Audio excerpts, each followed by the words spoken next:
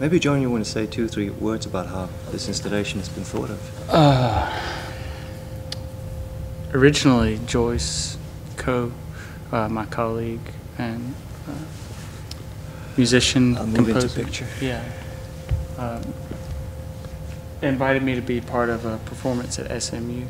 Um, she had some ideas about um, making some uh, sonic sculptural uh, compositions.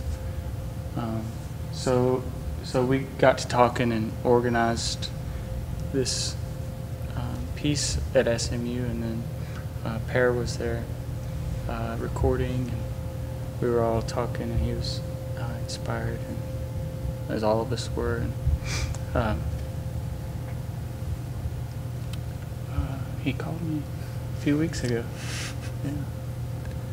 So in that installation at SMU, there were a large number of plates Yeah, that were hanging yeah. in a um, sort of in two rows in a small plaza inside it where the performance was taking place.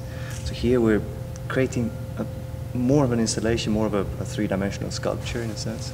And the sound's totally different because of the interior space. The other sound was exterior. Mixed with the street noise and Yeah. all these things.